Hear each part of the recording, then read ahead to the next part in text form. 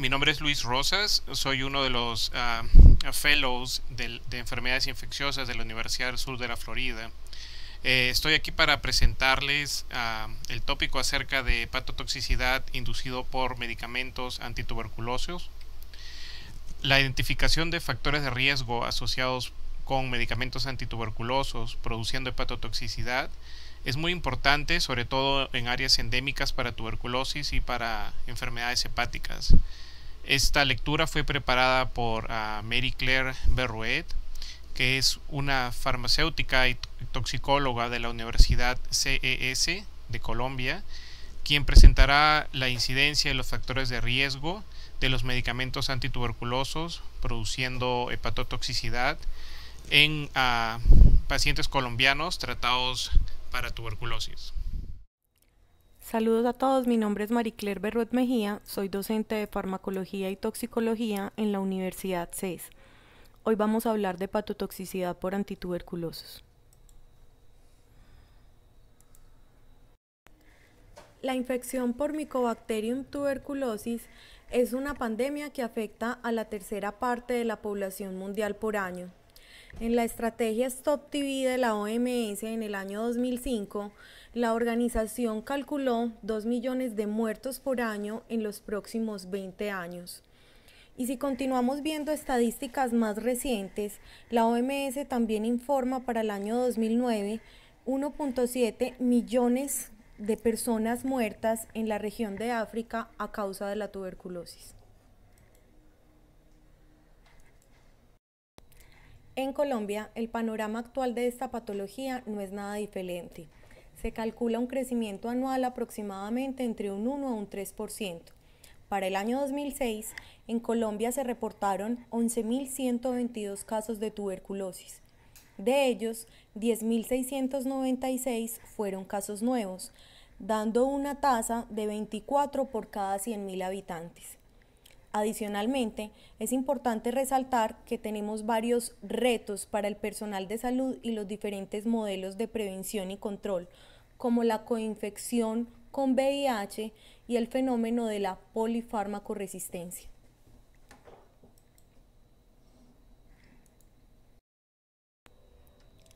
En esta diapositiva, más que hablar del tratamiento, quiero hablarles de la estrategia DOTS. Esta estrategia propuesta por la OMS desde el año 1991 ha sufrido varias reformas hasta la época actual.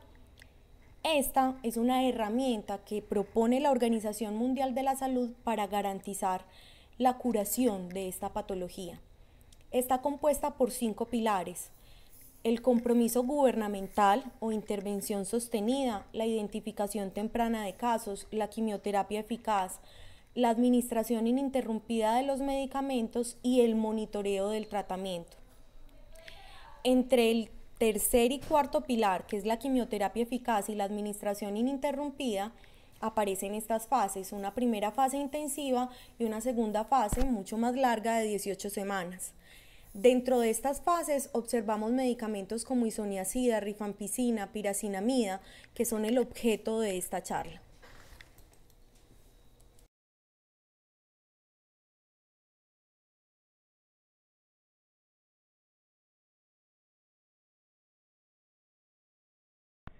Definimos como hepatotoxicidad el daño producido al hígado por un xenobiótico alterando su función.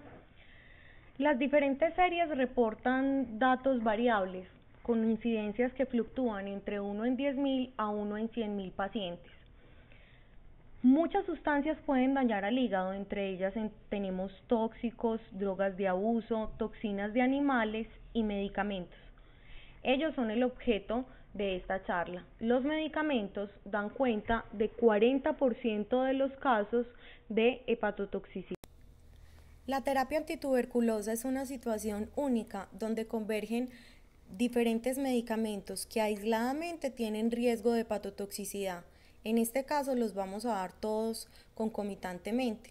Así que la hepatotoxicidad por medicamentos antituberculosos es un tema de especial importancia. Las series reportan incidencias entre 4.3 y 19% para la población adulta y para la población infantil incidencias aproximadamente del 0.8%.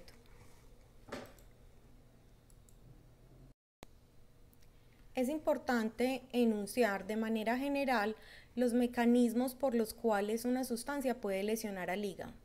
Dentro de ellos tenemos una lesión directa al hepatocito, una lesión de las proteínas transportadoras, activación de linfocitos T citolíticos, apoptosis de los hepatocitos y tal vez uno de los más importantes sea la lesión de las mitocondrias, produciendo un estado de estrés oxidativo. Muchos de estos mecanismos los enunciaré más tarde hablando de cada uno de los fármacos. Son muchos los factores de riesgo que explican la hepatotoxicidad por antituberculosos. Dentro de ellos tenemos el polimorfismo genético, donde una de las enzimas que hay que resaltar es la N-acetiltransferasa, una de las encargadas del metabolismo de la isoniazida.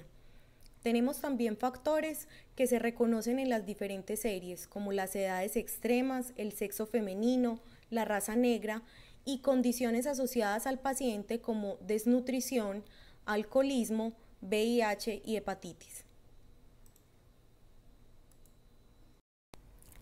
El fenómeno de la hepatotoxicidad asociada a isoniazida, uno de los antituberculosos que consideramos como primera línea, no es nuevo. Los primeros reportes datan desde el año 1950 y a través del tiempo vemos como en 1967 se repiten estos reportes que coinciden con un incremento de la dosis de isoniazida. En 1974, otros autores encabezados por Bailey reportan que hasta un 12% de los pacientes en tratamiento con este antituberculoso presentan marcadas elevaciones de las transaminasas.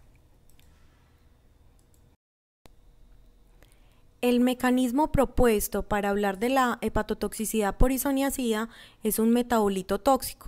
Esta es la acetilhidracina. La acetilhidracina es un agente acetilador que causa daño en las macromoléculas de los hepatocitos, principalmente en los lípidos.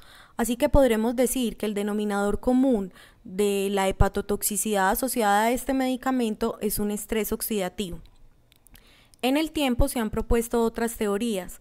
Dentro de ellas está el aumento de calcio intracelular que activa a su vez a la fosfolipasa 2 y esta va a ayudar a degradar los fosfolípidos de membrana. Como ya tenemos claro cuáles son las causas de toxicidad por la isoniazida, ahora veamos cómo es su patrón de toxicidad.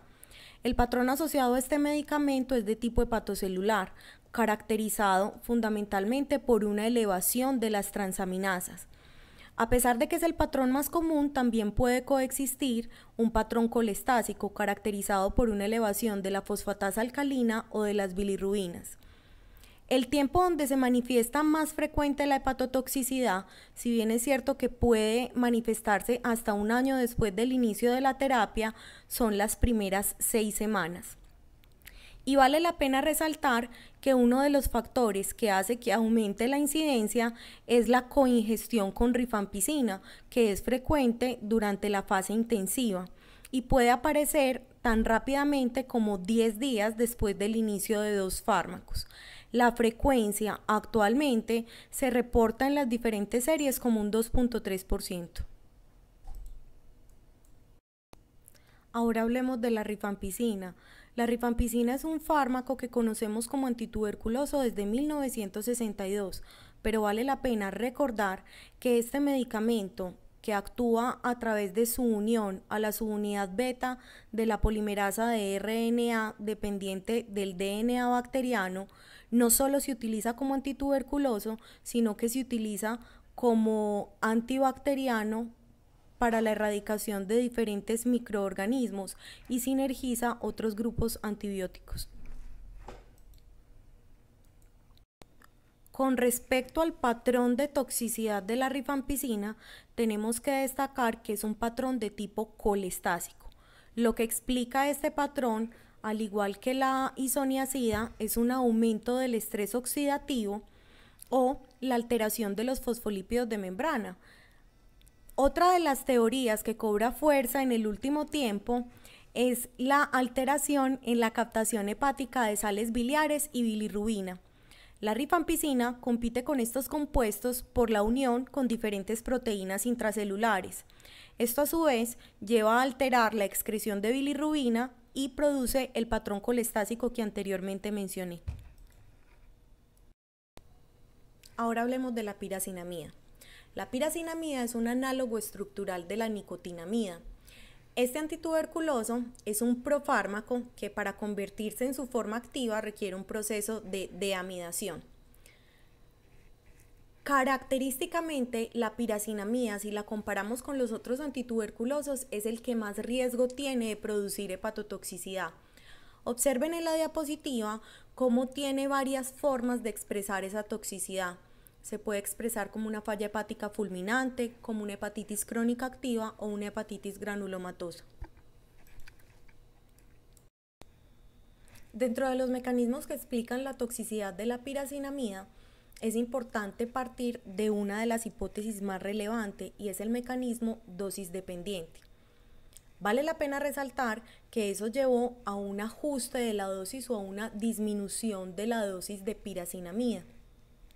Y con el tiempo observamos otra teoría que fue propuesta por Corbella y colaboradores en 1995, donde se sugirió un mecanismo de hipersensibilidad, es decir, una reacción tipo B dosis independiente. La hepatotoxicidad se puede dar en el 15% de los pacientes que reciben diariamente dosis entre 40 y 50 miligramos por kilo por más de dos meses. Es por eso que la dosis actual es mucho más bajita, entre 15 a 30 miligramos por kilo, con un máximo de 2 gramos día y por solo dos meses. Ahora ya conocemos la magnitud de la tuberculosis, la importancia de tratarla, quiénes son los diferentes antituberculosos, qué es hepatotoxicidad y cuáles son los mecanismos ligados a ella. Ahora precisemos el diagnóstico de hepatotoxicidad. A pesar de que muchas asociaciones no se ponen de acuerdo en cuál es la definición más acertada, les propongo esta. Recordemos que hepatotoxicidad es la elevación de las transaminasas mayor a tres veces el límite acompañado de un nivel de fosfatasa alcalina mayor de dos veces el rango de, de, referencia sin síntomas. Otros proponen que el diagnóstico de hepatotoxicidad es la elevación de las transaminasas mayor a tres veces el límite normal con presencia de síntomas o la elevación de las transaminasas mayor a 5 veces el límite normal con presencia o no de síntomas, o el incremento de bilirrubinas más de dos veces el valor normal. En Medellín, conscientes de que la hepatotoxicidad por antituberculosos es un problema serio y frecuente en pacientes hospitalizados, se han adelantado algunos estudios para tratar de ver qué pasa en nuestra población. Dentro de los resultados que hemos encontrado, eh, ha sido una proporción de incidencia de patotoxicidad del 21.4% en centros de tercero y cuarto nivel. En esos mismos estudios que les mencioné anteriormente, encontramos que al igual que en la literatura, el tiempo de mayor riesgo para el desarrollo de la hepatotoxicidad está en los primeros 30 días. Desde esa perspectiva, es lógico que en las primeras ocho semanas hagamos un seguimiento más estrecho. En estos mismos estudios encontramos como factores de riesgo, al igual que en la literatura, la edad avanzada del sexo femenino y el alto consumo de alcohol. Las edades extremas, específicamente los niños, no fueron un factor de riesgo como se ha reportado en otros estudios encontramos también que el alto consumo de alcohol y la ingesta concomitante de otros medicamentos que potencian la hepatotoxicidad eran un factor de riesgo. Dentro de esos medicamentos vale la pena remencionar al ácido valproico y al omeprazol. Y al igual que los diferentes estudios, para nosotros también la desnutrición y comorbilidades como el SIDA fueron un factor de riesgo. Con respecto al VIH-Sida, vale la pena precisar el riesgo que hay con las interacciones con la terapia antirretroviral. Cabe resaltar que en los pacientes que presentan esta coinfección, la terapia se complica debido al gran número de interacciones entre los fármacos antirretrovirales y tuberculostáticos, que siguen vías iguales, bien sea de reacciones de fase 1 o de fase 2. Y vemos un gran compromiso de la citocromo P450. Entonces, las interacciones no son solo dinámicas, sino también cinéticas y es un reto para el personal de la salud tenerlas en cuenta en el momento de prescribir. Miremos el problema que nos plantea la hepatotoxicidad. Cuando está instaurada la hepatotoxicidad es importante suspender el tratamiento. Cuando suspendemos el tratamiento pensamos, hay riesgo de resistencia, pero si no lo suspendemos, la hepatotoxicidad progresa y puede comprometer la vida del paciente. Así que el segundo problema que viene es cuando vamos a reintroducir ese tratamiento para continuar esa terapia eficaz que nos ayude a erradicar las micobacterias. La reintroducción del tratamiento ha sido motivo de discusión y continúa siendo controvertida en diferentes artículos. Prueba de ello, vemos diferentes estudios que se han publicado en los últimos años. En esta diapositiva observamos uno del año pasado donde se evaluaba la seguridad al reintroducir tres regímenes diferentes de antituberculosos después de un fenómeno de hepatotoxicidad. En ellos se vio que eran igualmente seguros y no se observaron diferencias significativas dentro de ellos.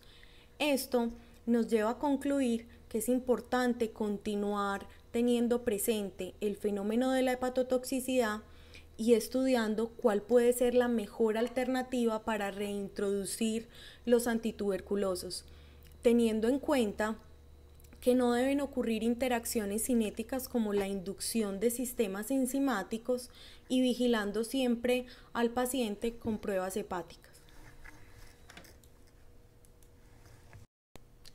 Para terminar, es importante resaltar la necesidad de acompañar a nuestros pacientes. No solo tenemos que pensar en la eficacia, tenemos que pensar en la seguridad. La OMS nos resalta la importancia de los programas de farmacovigilancia, programas que deberían ser multidisciplinarios, programas que deberían ser activos donde se realicen búsquedas activas y donde logremos disminuir este fenómeno que puede ocasionar una gran morbimortalidad.